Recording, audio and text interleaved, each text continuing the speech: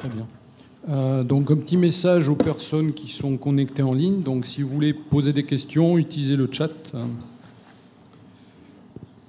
D'ailleurs, j'ai une question en ligne, voilà, pour, euh, pour Arnaud Jacquard. Une question rapide. Est-ce que le pâtissier peut concerner les amyloses à lait Non. Alors, la transthyrétine n'est pas, est pas impliquée dans les amyloses à même si on sait qu'il y a des, des patients qui ont les deux, hein, qui ont une amylose à transthyrétine plus une amylose à L. Il y a plusieurs patients qui ont été décrits, en particulier par la Mayo Clinique. Donc, dans ces cas-là, sûrement, il faudrait faire les deux traitements, mais c'est exceptionnel. Et le, les traitements anti-TTR ne sont pas actifs sur les amyloses à L. Merci. Alors, juste un commentaire. Je crois qu'on n'a pas fini de se retrouver tous les ans parce que c'est vrai qu'à chaque fois on se dit qu'est-ce qu'on va faire l'année prochaine, mais là je crois que voilà, à chaque fois tu nous ressors des nouveaux traitements, des nouvelles propositions. Est-ce que tu pourrais préciser, comme on a pas mal de patients euh, experts, on va dire, euh, ici, et puis qui nous regardent, à chaque fois qu'on présente nos, diapositives avec des nouveaux traitements, il y a pourquoi moi je l'ai, pourquoi moi je l'ai pas? Est-ce que tu peux nous préciser euh, pourquoi tous ces essais en fait avec des critères d'inclusion, nous détailler un petit peu pour dire où, où, ces essais ont lieu, est-ce qu'ils ont lieu en France, le carticelle, est-ce que c'est jouable en France? Alors, il y a, beaucoup de ces traitements qu'on utilise euh, parce qu'on sait que ça va être efficace euh, et, dont il n'y a, pas encore d'AMM ni d'autorisation d'accès précoce. Euh, les, bispécifiques, on l'a fait chez notre malade parce qu'il a un vrai myélome. Et pour utiliser chez un patient qui a un vrai myélome, il faut qu'il ait eu trois traitements avant. Donc lui, il avait eu même six traitements, il n'y avait aucun problème. Là, on est dans, dans les clous. Après, pour l'utiliser chez un patient qui a une amylose sans myélome, euh, c'est pas du tout euh, évident. on est à la limite de ce qu'on peut faire, hein, même si on peut penser que ça va, être efficace et probablement on va, essayer d'avoir des autorisations. Il va y avoir des, essais, il y a plusieurs laboratoires qui sont en train de monter des essais avec les bispécifiques dans les amyloses. Euh, il y a Janssen, il y a AbbVie, il y en a probablement d'autres. C'est vraiment quelque chose qui est dans l'air, mais pour l'instant, il n'y a aucun protocole qui a commencé. Les carticelles, alors là, c'est vraiment non, il n'y a pas de, de carticelles pour amylose en France. Il n'y a déjà pas assez de carticelles pour traiter les myélomes euh, très évolutifs qui ne répondent pas au traitement. Donc on a, on a sûrement beaucoup d'autres traitements dans les amyloses disponibles et on ne va pas on va pas avant longtemps faire de, de carticelle et je crois pas qu'il y aura d'essai euh, dans, le proche avenir. Euh, le vénétoclax, on, commence à l'utiliser de plus en plus. Euh, on peut demander un accord à la CPAM, en général il est donné. On peut le faire un peu parce qu'il y a une AMM dans d'autres maladies et on le prescrit, c'est un médicament qui, s'achète en ville, mais il faut vraiment qu'il y, ait une indication, c'est-à-dire que le patient ait, ce ait cette translocation S14 qui laisse prévoir va être, que ça va être efficace. Et tous ces traitements, surtout quand c'est des malades graves, surtout quand euh, c'est des patients qui n'ont pas, pas bien répondu au traitement précédent, il ne faut pas les faire six mois sans regarder ce que ça donne. Il faut vraiment surveiller le, dosage des chaînes légères et regarder s'ils sont efficaces. Un traitement qui fait euh, n'importe quelle chimiothérapie qui ne fait pas baisser les chaînes légères n'a aucune efficacité. Hein. donc il ne faut, pas, faut pas continuer si ça ne marche pas. Juste pour ajouter, on a une une réunion de concertation pluridisciplinaire, Arnaud en a parlé tout à l'heure, euh, tous les 15 jours, où tous ces cas sont revus, c'est-à-dire des malades qui récidivent, qui rechutent, qui sont... Et un point sur lequel on insiste, c'est vraiment sur le, bilan hématologique au départ et, avoir vraiment l'étude cytogénétique. Parce que c'est important de connaître ces anomalies cytogénétiques pour pouvoir adapter le traitement au mieux. Et le traitement tient aussi compte de, euh, des comorbidités qui peuvent exister, euh, y a-t-il une, atteinte rénale ou pas? Enfin, c'est toute une démarche qui est individualisée à chaque malade. Il y, a un autre traitement dont je n'ai pas parlé, c'est le Belantamag. Donc c'est un autre nouveau traitement qu'on a en, hémato. C'est un anticorps qui est couplé à une toxine. Donc l'anticorps va sur les plasmocytes, la toxine les, élimine. Euh, il y a un essai en cours hein, qui, est bientôt fini. Là aussi, c'est Castritis d'Athènes qui est l'investigateur principal, avec 70% de réponses chez des malades qui répondent à pas grand-chose. Donc ça, on en, disposait pour le myélome, on n'en dispose plus, donc on ne peut pas le donner en dehors de l'essai. Euh, et l'essai, on, peut le faire à Limoges, mais c'est vraiment le seul endroit en France. Et c'est un médicament qu'on pourra peut-être utiliser pour vraiment les patients réfractaires, qui a comme inconvénient principal d'avoir une toxicité oculaire qui rend souvent le, traitement pénible et qui oblige à l'arrêter, mais ça donne quand même un bon taux de réponse chez les patients réfractaires. Une petite question dans le chat. Le dramtumab seul reste-t-il efficace? Ah oui, clairement, c'est efficace le daratumumab seul. Hein. Euh, on, le fait de temps en temps chez les patients. Soit c'est les patients très très graves, parce qu'on a peur de faire du bortezomib qui a une certaine toxicité cardiaque. Euh, et chez les patients en, rechute, on a montré dans notre étude que c'était à peu près 65% de réponse. Et aux États-Unis, ils avaient fait la même étude, c'était plutôt 70%. C'est vraiment très efficace, mais c'est pareil, il faut vérifier que ça marche. Et là, si ça marche pas au bout de quatre injections, on sait que ça va pas marcher, ou alors il faut associer une autre drogue. Mais on peut l'utiliser seul, clairement. C'est vrai que nous qui avons des patients euh, toujours avec des formes cardiaques quand même assez sévères, on, fait euh, du DARA. Enfin, on est obligé d'adapter à chaque patient en fonction de la sévérité du patient le traitement. Et le DARA seul, euh, on a toujours très peur de la au, vu des travaux qu'on a fait ensemble chez nos patients sévères. Et donc on a allégé le DARA seul euh, marche. Évidemment, on a envie de faire tout, mais il faut que le patient tolère. Et ce premier mois, quand on a une atteinte cardiaque sévère, c'est vraiment euh, bah, aller jusqu'au bout. Mais il, y a un problème de tolérance cardiaque des traitements chez ces patients.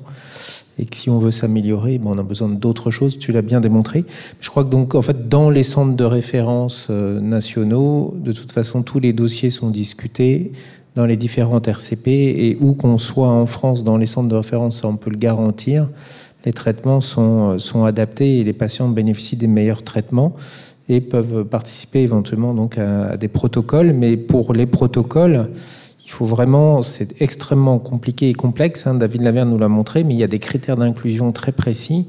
Et donc, c'est pas parce qu'on veut participer à un protocole qu'on peut, euh, parce qu'on passe beaucoup de temps à discuter avec des patients qui nous contactent pour entrer euh, dans des protocoles, mais c'est vraiment extrêmement strict et on ne peut pas, euh, combien même on est très volontaire et on a envie, si vous n'avez pas les critères d'inclusion, on ne peut pas euh, malheureusement euh, vous, inclure.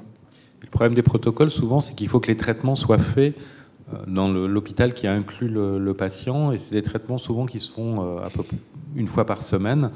Donc ça demande d'habiter relativement proche. C'est difficile. Euh, si vous habitez à 500 km, de faire euh, l'aller-retour euh, une fois par semaine. Une autre question du chat sur les amyloses Jusqu'à quel âge traitez-vous les amyloses avec atteinte cardiaque, sous réserve que l'état général soit conservé Je crois qu'on n'a pas de limite d'âge, hein. c'est vraiment dépendant de, comment, sont les, comment sont les patients. On a, traité, moi j'ai traité, je me rappelle, un patient de 94 ans et ça s'est bien passé. Hein. donc il euh, n'y a, pas vraiment de limite d'âge. Enfin, pour nous, il n'y a pas de limite d'âge. Hein. Ce qui va dépendre, c'est effectivement la sévérité de l'atteinte cardiaque, parce que des fois c'est tellement sévère que fait le traitement euh, va pas. Le problème, comme tu l'as dit, c'est que le traitement va stopper la production, mais il va pas retirer les dépôts. Donc si l'atteinte cardiaque est malheureusement trop sévère, on, on va réussir à pas faire grand chose parce qu'on peut pas repartir en arrière. Et donc après, effectivement, chez des patients âgés, c'est la combinaison avec la fragilité quoi, euh, gériatrique, c'est-à-dire dans quel état est le patient du point de vue de son propre vieillissement. Et quand on sait qu'on va faire plus de dégâts avec le traitement, bah, on discute bien sûr avec le patient et sa famille, mais on n'est pas là à vouloir absolument mettre un traitement si on sait que ça va aggraver le patient. Et donc dans ce cas, c'est plutôt un accompagnement jusqu'au bout. Et euh, souvent, de notre expérience, quand même, les patients très âgés évoluent quand même moins vite que les jeunes et que finalement l'absence de traitement euh, peut leur permettre d'aller jusqu'au bout du chemin sans les précipiter. Parce qu'en cardiologie, chez dans les amyloses très très sévères, c'est quand même un souci que l'on a, c'est euh, les effets du traitement sur le cœur qui va conditionner euh, la survie. Une double question concernant les patients qui sont transplantés cardiaques ou qui ont une double greffe. Donc quels sont les traitements préconisés dans ce cas-là? Bah, pour les, pour les amyloses AL, ça dépend complètement du taux de chaîne légère euh, après la greffe. A, moi, je me rappelle d'une patiente qui avait été euh, greffée avant tout traitement parce qu'elle était euh, vraiment trop trop grave et la préparation à la, à la greffe de, cœur l'a mis en rémission complète. Je ne sais pas si c'était pas une malade de Mondor. Hein. Et en fait, elle a rechuté deux ou trois ans après. Deux ou trois ans après, on l'a traitée. Hein. Donc ça, dépend vraiment du taux des chaînes légères. Je pense qu'il faut, quand les patients ne sont pas en rémission complète, il ne faut pas les laisser trop, trop longtemps sans les traiter. Mais maintenant, on a des traitements peu toxiques. Hein. Je pense qu'on peut faire du daratumumab et regarder ce qui se passe, par exemple, trois mois euh, après la grève de cœur. Pour la grève de rein, on essaie de les traiter euh, avant, d'obtenir la meilleure réponse possible, hein. donc euh, ce qu'on appelle au moins une très bonne réponse partielle puisqu'on sait qu'on peut effectivement les, traiter euh, après la greffe. Simplement, euh, il y a toujours un risque plus important complications infectieuses notamment, ou, de certains médicaments utilisés pour traitement de l'amylose qui peuvent favoriser aussi le rejet. Donc, si on peut traiter avant pour une grève de rein, c'est ce qu'on fait, c'est ce qu'on fait en général.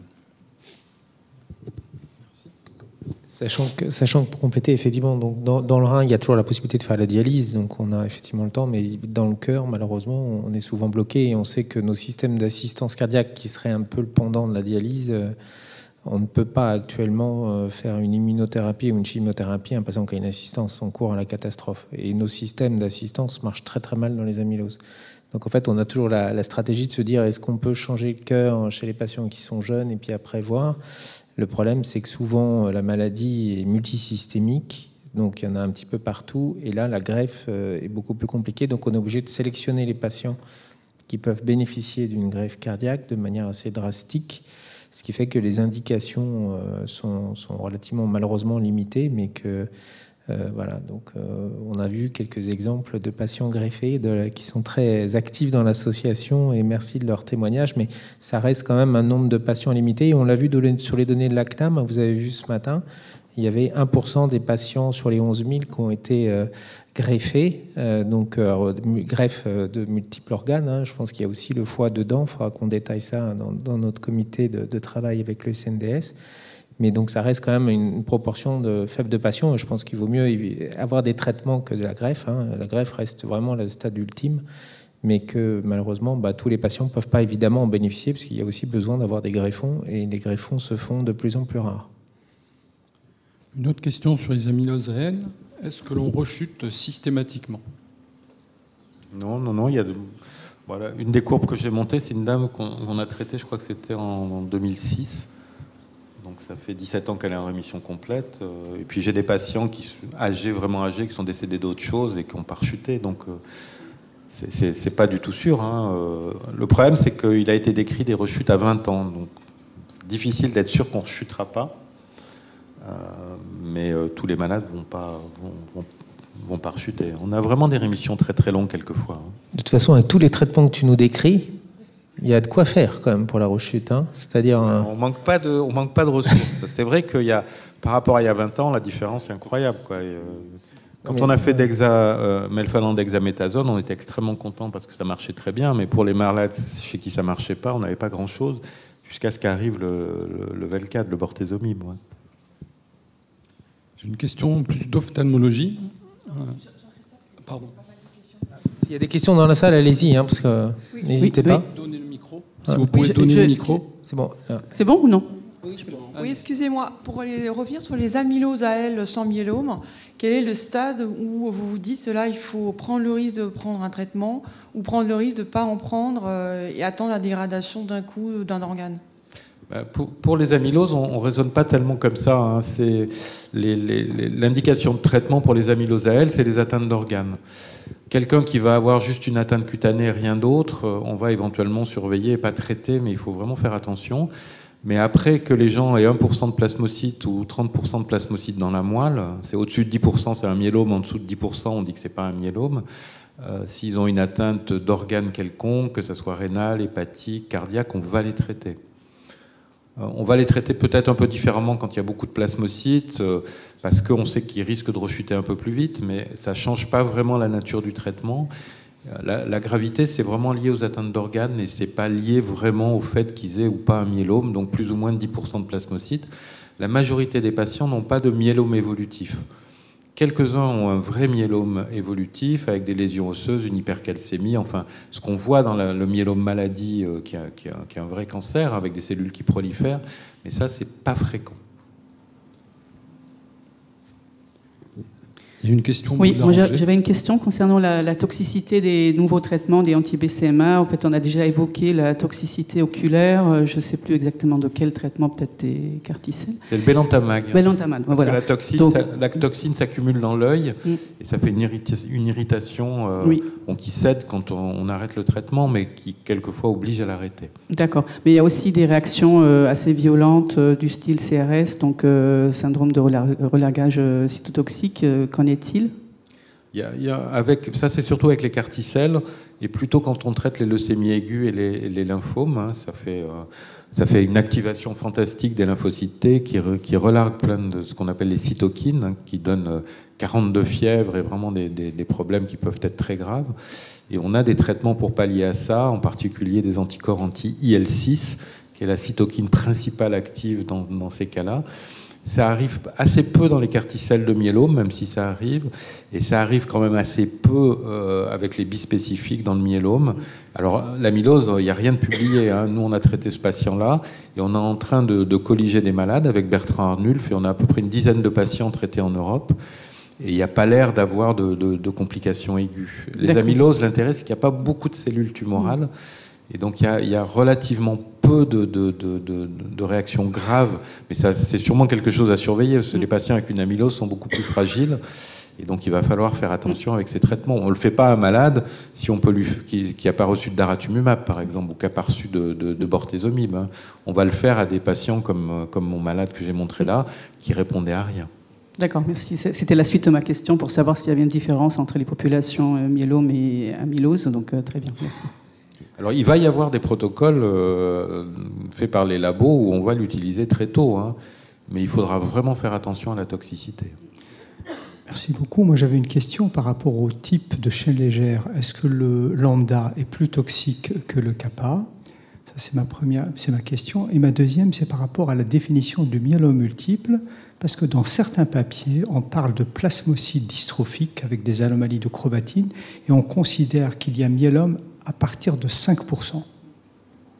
Alors, il n'y a pas de différence entre lambda et kappa. Il y, a, un peu plus de lambda euh, de, patients qui ont une, chaîne légère lambda, 70% à peu près, 30% kappa.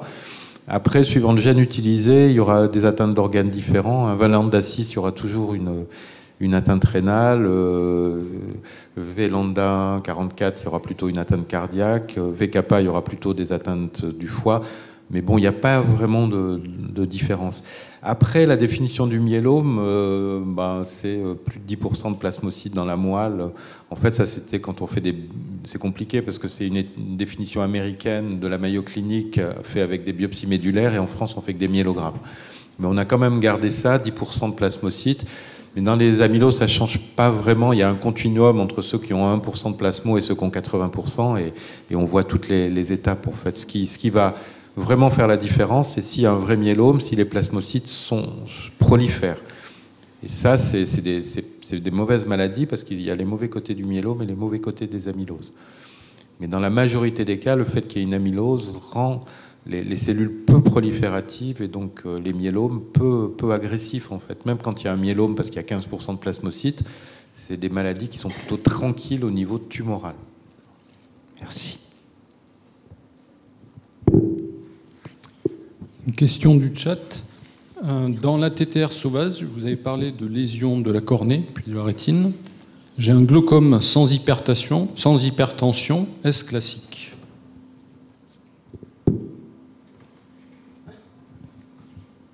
Il y a. Bah, c'est classique avec l'âge, mais euh, non, enfin, je sais pas, Thibaut, si tu. Il n'y a pas d'atteinte spécifique euh, oculaire dans la TTR wild type alors, pour l'instant, il n'y a pas d'atteinte classique euh, identifiée. Je mettrai un bémol parce que euh, rendez-vous l'année prochaine sûrement. Mais euh, c'est un plus compliqué qu'on ne le pense, notamment au niveau des atteintes oculaires, ORL, mais il faut encore des travaux pour vraiment identifier. Mais pour l'instant, il n'y a pas de relation entre l'atteinte oculaire et la TTR sauvage. Pour l'oreille, c'est clair, il y a une relation directe. C'est prouvé et confirmé, etc. Donc voilà, c'est pour ça qu'on n'a pas de données encore, mais à mon avis, ça va pas tarder à, faire un lien aussi avec. Euh, dans la mylostétère sauvage, on est vraiment dans un processus de vieillissement. On fait lien avec l'arthrose, les atteintes tegumentaires, etc., les atteintes ORL, etc. Et donc finalement, on est dans un processus de vieillissement accéléré, imposé par l'amylose. Donc je ne serais pas surpris qu'on. Voilà. On ne peut pas en dire plus, mais à mon avis, ça va arriver. Merci. Pas d'autres questions dans la salle il y a encore deux questions dans le chat. Peut-on être sûr qu'avec une bonne réponse hématologique avec chaîne légère inférieure à 10, le myélome ne se développe pas on peut jamais être sûr avec, avec le myélome, mais tant que les chaînes légères restent basses, c'est que le, myélome n'est pas prolifératif. Donc il y, a toutes les chances que tant que ça reste bas, parce que si, le myélome devient évolutif, les chaînes légères vont monter. C'est une question souvent qu'on a des patients en fait qui comprennent pas comment on peut avoir une amylose euh, sans myélome et myélome avec amylose. Et effectivement, on peut avoir une amylose et, avoir une amylose très très grave sans plasmocytes euh, qui se reproduisent dans la moelle et donc avec des plasmocytes à 10. C'est ce que tu as appelé euh, gammapathie en fait. Mais je pense qu'il faut que tu précises peut-être. Bah, le, le, principe, c'est qu'il y a une cellule qui devient immortelle, un plasmocyte, qui s'est mal divisé et qui devient immortelle et qui donne une lignée, un clone. Euh, qui produit euh, les chaînes légères et comme c'est un clone, comme toutes les cellules sont pareilles, produisent tous la même chaîne légère, éventuellement avec une immunoglobuline complète. Et après, euh, ce qui va faire l'amylose, c'est que la chaîne légère est capable de s'agglomérer. Ça, c'est complètement indépendant de, des cellules qui la produisent. Il y a à peu près 1% des chaînes légères qui vont être capables de faire de l'amylose. Et ça, qui est 1% de plasmo, 10% de plasmo, 80% de plasmocytes, c'est pareil. Et après, euh, il y, a vraiment dans la majorité des cas ce côté euh, de s'agréger des, chaînes légères à l'intérieur du plasmocyte va les rendre peu prolifératifs. C'est pour ça qu'on n'a pas beaucoup de vrais myélomes avec une amylose. Et quand il y a d'autres anomalies au niveau des cellules qui les rendent prolifératifs, ça passe au-dessus de ça et on peut avoir euh, peut-être chez 5% des malades à peu près des cellules beaucoup plus prolifératives, plus de plasmocytes, des, vrais myélomes. Mais dans la majorité des cas, on n'a pas de, de, vrai myélome. On a une immunoglobuline monoclonale qui va faire de l'amylose et on va avoir un certain taux de plasmocytes. Euh, probablement, si on attend, il y en a un peu plus. il y a aussi une question de, durée d'évolution. Euh, si euh, l'amylose est assez évolutive, on va la diagnostiquer assez tôt. Si c'est une amylose qui est peu, parlante, ça va mettre plus longtemps. Et plus on va attendre, plus il y a des chances qu'il y ait des anomalies sur les plasmocytes qui les fassent proliférer. Mais il faut vraiment. Euh, faut, le, mécanisme est toujours le même. C'est le fait qu'une cellule devienne immortelle et puis après, son comportement va être plus ou moins prolifératif. Mais ce qui est important pour les, amyloses, c'est vraiment la toxicité de la chaîne légère et sa faculté à faire de l'amylose et à se déposer dans les organes, avec une gravité particulière quand elle se dépose dans le cœur. Une question dans la salle, sinon il me reste une dans le chat. J'avais une question de cardiologie. J'ai vu que vous parliez de fibrillation auriculaire. Est-ce que ces patients, vous les anticoagulez en sachant qu'il y a un risque entre guillemets hémorragique, puisqu'il y a une baisse du facteur 10 euh, en cas d'amylose, il y a une baisse du facteur Stuart. Est-ce que vous les anticoagulez en curatif quand ils ont une fibrillation chronique? Si tu veux répondre, ils ont un, un potentiel emboligène qui est quand même élevé, hein, donc il faut, oui, les anticoagule. C'est vrai que c'est une balance euh, bénéfice-risque, hein, mais euh, euh, il y a, quand on regarde sur les, dernières séries sur les cardioversions, il y a en 25 à 30% des patients qui arrivent avec une amylose pour cardioversion, qui sont, alors qu'ils sont déjà sous anticoagulants, qui sont reportés parce qu'on leur trouve un thrombus intracardiaque. Donc c'était des patients qui euh, thrombosent euh, très très facilement. Et donc. Euh, Vous leur mettez donc là, votre question, c'était spécifiquement dans l'amylose AL, où effectivement on peut être en fibrillation atriale comme tout patient qui a une atteinte cardiaque avec une amylose, et puis on a cette diminution d'un des facteurs. voilà, et donc il y a un risque hémorragique qui est le plus important. Donc effectivement c'est compliqué, mais en fait on regarde le rapport risque-bénéfice comme l'a dit Vincent.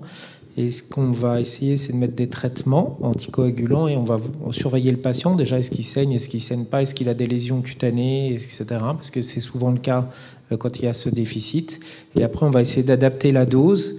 Et puis, bah, s'il y a des saignements, bien sûr, on va traiter l'origine du saignement, euh, transfuser éventuellement. Et à ce moment-là, bah, on ne peut pas tout faire. Et à un moment, on, peut, euh, on est amené à arrêter l'anticoagulation voire à fermer l'auricule gauche pour diminuer le, risque de, formation des caillots dans un petit endroit du cœur qui s'appelle l'auricule, qui va pas tout traiter, tout prévenir, mais qui peut diminuer un peu le risque, mais ça dépend des indications. Donc on est dans des choses très complexes, mais c'est un petit peu ce qu'on a vu tout à l'heure aussi. C'est pareil, on est toujours dans un rapport, quel est le bénéfice pour le patient, quels sont les risques de nos traitements, aussi bien pour les traitements bien sûr curatifs, si je puis dire, de l'amylose à elle, mais aussi pour les traitements cardiologiques. Et chaque cas est très différent.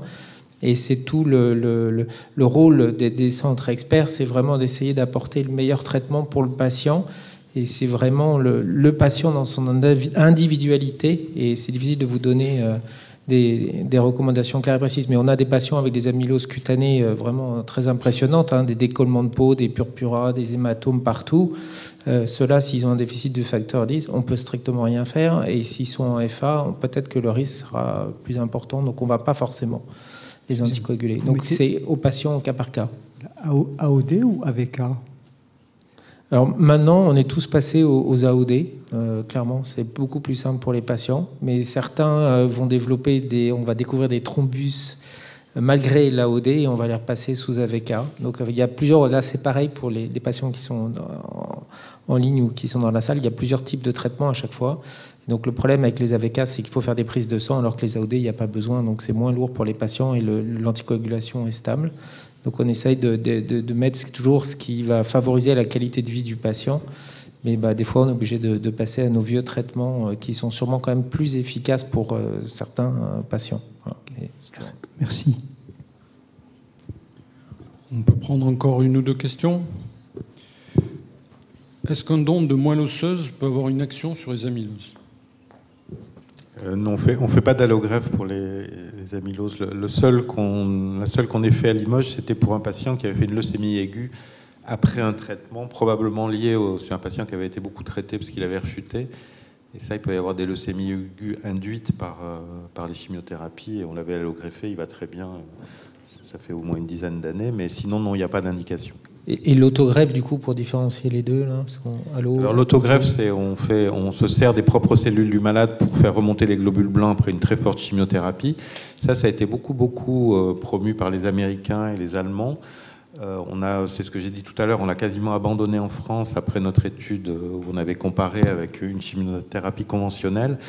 Et euh, les derniers, maintenant, même les Américains, avec l'efficacité des nouveaux traitements, en particulier du daratumumab, du venetoclax, ils sont en train petit à petit d'abandonner. Alors il y a encore quelques indications. Hein, c'est les, patients qui ont un vrai myélome, donc évolutif, avec des lésions osseuses, dont on sait que les rémissions ne vont pas être forcément très longues avec un traitement conventionnel et une amylose très peu sévère. Donc dans ce cas-là, on va pouvoir proposer éventuellement une autogreffe ou les, rares patients qui ont euh, comme anticorps une IgM.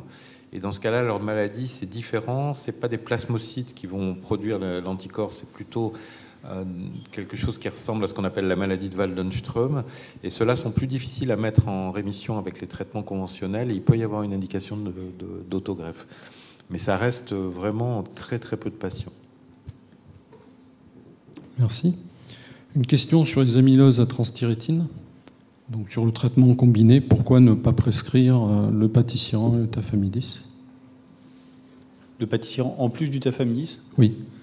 Euh, bah, c'est une bonne question. Pour l'instant, on n'a pas encore de réponse.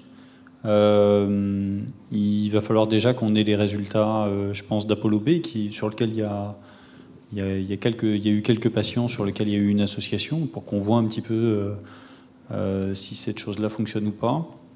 Je pense qu'à l'heure actuelle, euh, il, faut, euh, il, faut être, il faut être pragmatique. Nous, actuellement, on a tendance à plutôt pas trop faire d'association. Ceci étant, si un patient euh, évolue sous TAFA, évolue sous pâtissier je pense qu'on essaiera. Mais pour l'instant, on n'a pas d'éléments scientifiques pour dire qu'une association, c'est quelque chose qui va emporter le morceau. Quoi, hein. Donc, il faut être il faut, avancer. Et là encore, la problématique, c'est que les, éléments scientifiques vont arriver euh, avec le temps et que, ben, en face, il y a des situations individuelles qui peuvent être difficiles. Donc, euh, il faut, faut, dire aussi quand on sait et quand on ne sait pas. Là, pour le moment, euh, sur les associations, je pense qu'on a, on a encore, on arrive sur les limites de, notre, de nos connaissances scientifiques. Donc c'est à la discrétion du, du praticien C'est pas à la discrétion du praticien, c'est à la discrétion des praticiens. C'est-à-dire que quand on en arrive à ces, euh, à ces situations-là, c'est toujours des patients qui ont été déjà discutés au moins une fois, deux fois, trois fois en RCP. Et euh, nous, on a déjà pris des décisions d'association et ça a toujours été des cas euh, individuels mûrement réfléchis, discutés. Et donc, ce qu'il faut savoir, c'est enfin, en théorie, hein, actuellement, j'ai l'impression qu'en France, on fonctionne tous comme ça. Il n'y a aucune décision de ce type-là de traitement spécialisé qui est prise de manière individuelle.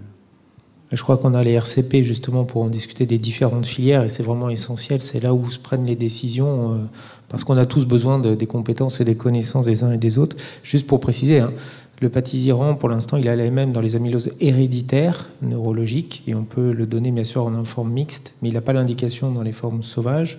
Donc le seul traitement dans les ATTR sauvages, ça reste le tafamidis, qui est pas de... Parce qu'on là encore, on est harcelé de, pourquoi je n'ai pas de j'ai une ATTR sauvage, c'est parce que pour l'instant, on n'a pas d'autres médicaments que le tafamidis. Hein. On a déjà on a un peu moins gâté que les, hématologues. Mais bon, ça va arriver. Euh, David et Vincent nous l'ont bien montré, ainsi qu'Olivier. Pour terminer, euh, différents épisodes de FA et troubles du rythme doivent-ils faire penser à une amylose euh, C'est une bonne question. Il y a une vraie intrication euh, entre, entre l'amylose et les, et les, arythmies. les premières descriptions des arythmies et des amyloses, c'était plutôt des blocs auriculo-ventriculaires. Mais on se rend compte que la fibrillation atriale est extrêmement fréquente. Elle est fréquente euh, dans l'amylose à transthyrétine. Elle est euh, loin d'être négligeable dans l'amylose à elle aussi. Euh, à l'inverse, je pense que la fibrillation atriale, c'est une maladie qui est extrêmement prévalente en dehors de la de l'amylose. Et donc, de base, quand on a une fibrillation atriale, je ne pense pas qu'il faille dire automatiquement et penser automatiquement à amylose. il faut avoir de toute façon, quand on a une fibrillation atriale, euh, avoir une évaluation globale de sa situation cardiovasculaire. C'est-à-dire quand on a une fibrillation atriale, on regarde les facteurs de risque de fibrillation atriale, la morphologie cardiaque sur laquelle cette arythmie s'est installée, et à partir de tout ça, on en déduit la conduite à tenir et la conduite exploratoire. Et là-dedans, euh, il y a un bilan cardiologique complet avec éventuellement une échographie cardiaque, éventuellement une IRM, et à ce moment-là, on peut rattraper des diagnostics d'amylose quand on a une fibrillation atriale sans autres euh, symptômes par ailleurs. Merci beaucoup. Je pense qu'on peut peut-être passer à la conclusion.